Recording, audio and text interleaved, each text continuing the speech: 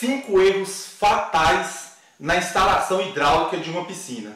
Eu sou Clodomiro Valeiro e nesse vídeo eu vou mostrar para vocês os cinco piores erros que alguém pode cometer na instalação hidráulica de uma piscina. Mas antes de começar o vídeo, já quero pedir para você deixar aí o like para a gente, se inscrever no canal se ainda não for inscrito, ativar o sininho das notificações para receber os vídeos que a gente está colocando aí quase que diariamente no canal. Mas então vamos lá.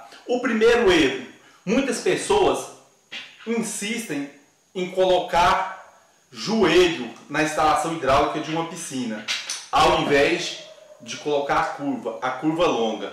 Ah, mas então quer dizer que eu não posso colocar joelho na instalação hidráulica da minha piscina? Olha, existem várias situações. O ideal, o recomendado é a curva, a curva longa. Por quê? Porque se você colocar um joelho, a água vai trabalhar mais forçada para poder fazer essa curva aqui, olha. Então, pode rachar o joelho e ele vai estar ali dentro de uma parede, debaixo de um concreto, vai dar um trabalho enorme para você consertar depois da sua piscina. Já se você usar essa curva longa, olha aqui, a água vai passar mais facilmente por aqui. Mas existem alguns casos, é claro, dentro de uma casa de máquinas, às vezes não dá para você colocar o, a curva longa, porque você não tem muito espaço para instalar ela, né? Às vezes você faz a casa de máquina um pouco pequena e aí fica mais difícil.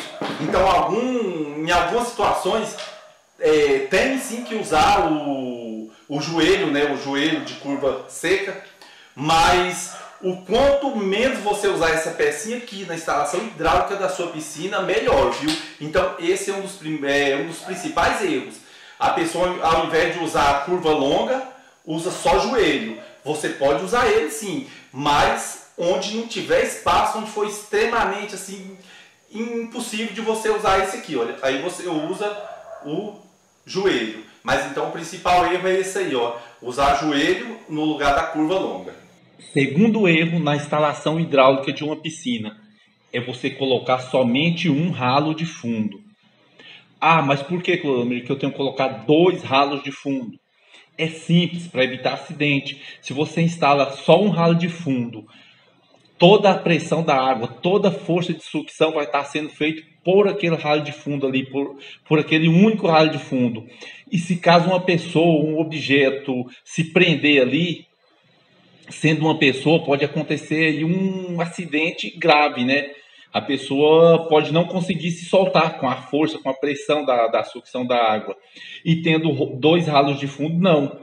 A, a força né, de sucção vai ser feita pelos dois ralos, vai ser distribuída nos dois ralos dificilmente uma pessoa vai se prender se ela encostar ali no ralo. E se por acaso se prender, vai ser bem mais fraca, ela consegue se soltar facilmente. Então, é um erro gravíssimo você instalar somente um ralo de fundo. Tem que instalar dois ralos de fundo na sua piscina. Terceiro erro na instalação hidráulica de uma piscina é você fazer as ligações na casa de máquina sem usar luva de união a luva de união de 50, tá? Porque os tubos são de 50. Eu peguei essa aqui só para demonstrar para vocês. Mas é muito importante você fazer todas as ligações na casa de máquina usando luvas de união, porque um dia você vai ter que fazer uma manutenção nessa casa de máquina. Ou para fazer um reparo no motor, na, na bomba, ou para trocar a areia do filtro. Então, ao invés de você ficar cortando, serrando o cano para fazer toda a encanação de novo, usar todas as conexões de novo. Se você fizer a instalação com luva de união, você vai só distorcer isso aqui, olha. Tirar a peça que você precisar e depois quando você fizer o reparo que tiver que fazer, é só unir de novo, olha. E não precisa de cortar nenhum cano. Então, terceiro erro aí na instalação hidráulica de uma piscina é não usar luva de união, viu? Quarto erro na instalação hidráulica de uma piscina. Olha, você nunca deve instalar os dispositivos hidráulicos de uma piscina de forma aleatória. Você precisa de instalar os ralos de fundo em uma extremidade da piscina e os dispositivos de retorno na outra extremidade oposta, porque tem que haver uma dinâmica aí na hora de fazer o tratamento da água. A água precisa de circular para que você consiga fazer o tratamento de forma mais eficiente e mais rápida. Você vai estar economizando produto, economizando energia e fazendo de forma certa, né? Então não instale aí os dispositivos em qualquer lado da piscina. Sempre os ralos de um lado, né, em uma extremidade, e os dispositivos de circulação do outro lado. Aí, conforme o tamanho da piscina, você coloca dois dispositivos, três, mas sempre um do lado, outro de outro. E o dispositivo de aspiração também tem que ser colocado no meio da piscina, porque você vai estar economizando com, com mangueira e também na hora de fazer o, o tratamento, na hora de fazer a aspiração. Você vai ter uma, uma dinâmica de trabalho bem melhor. Então, dispositivos de circulação de um lado, ralo de outro e o dispositivo de aspiração no centro da piscina. Quinto erro na instalação hidráulica de uma piscina. Esse pode até não ser o erro mais grave, mas muitas pessoas também cometem esse erro é na hora de escolher o local de construir a casa de máquinas. Olha, procura fazer a, a casa de máquinas o mais próximo possível dos ralos de fundo da piscina e também, se possível, do mesmo lado do bocal de aspiração. Porque você, além de economizar cano, vai evitar a entrada de ar aí na, na instalação hidráulica da sua piscina e vai evitar um esforço aí maior né, na, na hora de fazer a sucção aí da água da sua piscina.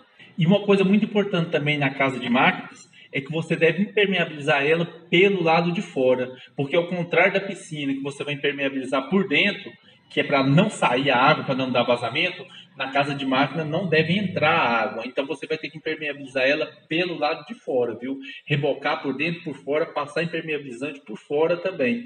E por dentro também, fazer uma impermeabilização. E outra coisa muito importante, deixar um ralo um dreno no fundo do, da casa de máquinas. Porque, queira ou não queira, pinga a água ali do motor, da, da encanação, enfim, vai pingar água e essa água não pode acumular aí na sua casa de máquina. Então, você tem que fazer um dreno. Ou para uma galeria de águas pluviais, ou se não tiver como você fazer isso, você vai escavar um buraco no chão, vai encher de brita e colocar esse dreno para jogar a água que cair aí, que pingar no fundo da sua casa de máquina nesse dreno. Pessoal, mas então era isso aí. Cinco principais erros na instalação hidráulica de uma piscina.